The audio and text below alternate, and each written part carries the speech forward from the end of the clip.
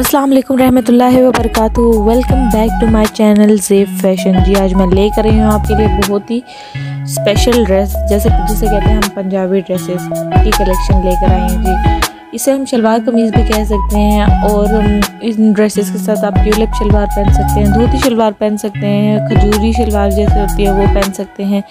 और हमारे पाकिस्तान और इंडिया में ये बहुत मशहूर है और शादियों पे और इन पे ये बहुत ही हसीन और खूबसूरत लगती है। तो इसी तरह मैं आपके लिए प्यारे प्यारे से कलर कॉम्बिनेशन और प्यारी डिज़ाइनिंग के साथ मैं लेकर आई हूँ आपके लिए। सिलेक्टेड डिज़ाइन लेकर आई हूँ सिंपल डिज़ाइन तो बहुत मिल जाते हैं, लेकिन हम भी चाहते हैं कि हमारी शादियों पे वेडिंग्स पे हमें कुछ डिफरेंट पहनने को मिले, ताकि हम थोड़े अलग से नज़र आएँ और प्यारे प्यारे नज़र आएँ। तो इसी तरह मैं आपके लिए लेकर आई हूँ बहुत ही प्यारे, हसीन और ख़ूबसूरत से शलवार कमीज़ के डिज़ाइन ये आप कह सकते हैं पंजाबी ड्रेसेस कह सकते हैं इनको, जिसको आप गोटे किनारी की मदद से बहुत ही खूबसूरती से आप इनको डिज़ाइन कर सकते हैं। बस इनमें अच्छे अच्छे कलर कॉम्बिनेशन चाहिए प्यारे प्यारे से।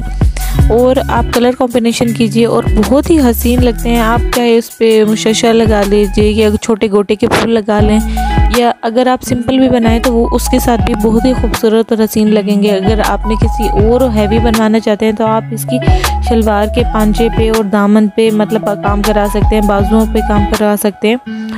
लेकिन ये बहुत ही इसी तरह प्यारे अगर आप सिंपल ना भी करवाएँ तो ये बहुत ही प्यारे लगेंगे इसके साथ। लेकिन आप जब इसे पहनते हैं और आ, इसकी एक डिफरेंट ही और बहुत ही खूबसूरत खूबसूरत सी लुक आती है। और ये पहनने में भी बहुत कंफर्टेबल होते हैं। इसलिए हर कोई पसंद करता है जी कि हमारे कोई भी अच्छे से इवेंट्स हों घर के फ़ंक्शन हो या बर्थडे हो या शादियाँ हो तो हम ऐसे कपड़े पहने जिसमें हम कंफर्टेबल रहें। तो मेरी वीडियो को लास्ट तक देखिएगा और मेरी वीडियो पसंद आए तो इसे लाइक करें और मेरे चैनल को सब्सक्राइब करें। अपना बहुत बहुत ख्याल रखें, दुआओं में याद रखिएगा। अल्लाह हाफ़